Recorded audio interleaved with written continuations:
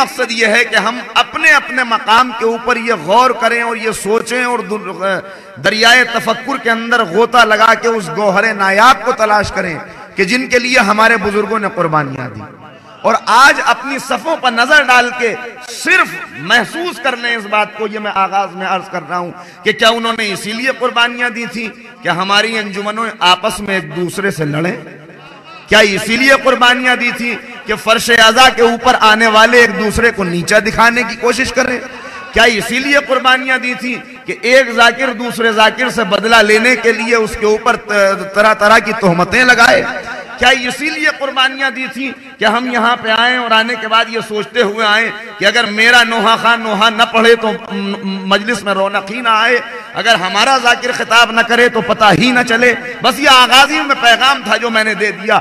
اور دست ادب جوڑ کے صرف ایک بات کہنا دینا چاہتا ہوں اپنے نوجوان بھائیوں سے کہ یہ فکر اور یہ ذہن میں تصور بھی کبھی نہ لائیے گا کہ ہم مجلس میں آتے ہیں تو رونق ہوتی ہے۔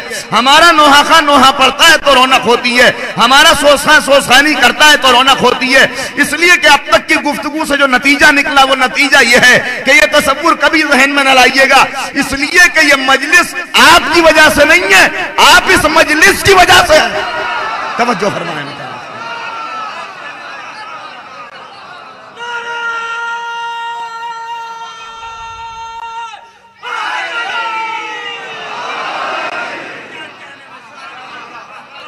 اگر یہ غلط تصور کسی کے ذہن میں پیدا ہو گیا کہ ہمارے آنے کی وجہ سے مجلس میں رونق ہوتی ہے، ہمارا دستہ، ہماری انجمن، بھائی یہ سب باتیں فرش ازا کے لیے ریب نہیں دیتی۔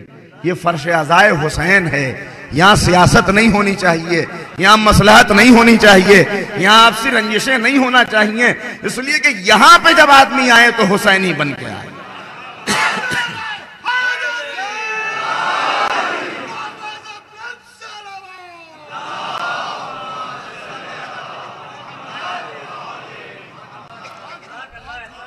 اس لیے کہ دیکھیے، میں ایک مثال اور عرض کر دوں، اب بات یہاں تک آ گئی۔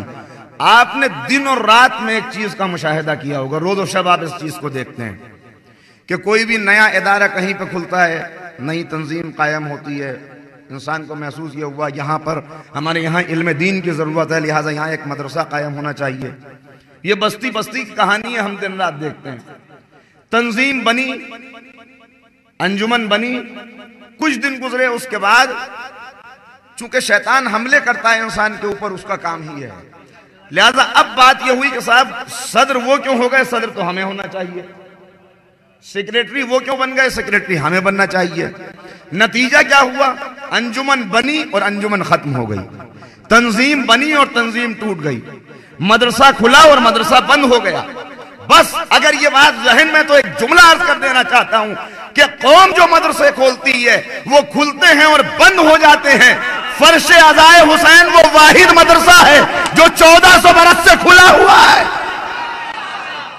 اگر اسے بھی قوم نے کھولا ہوتا، اگر اسے بھی قوم نے کھولا ہوتا، تو یہ بھی کبھی کا بند ہو گیا ہوتا۔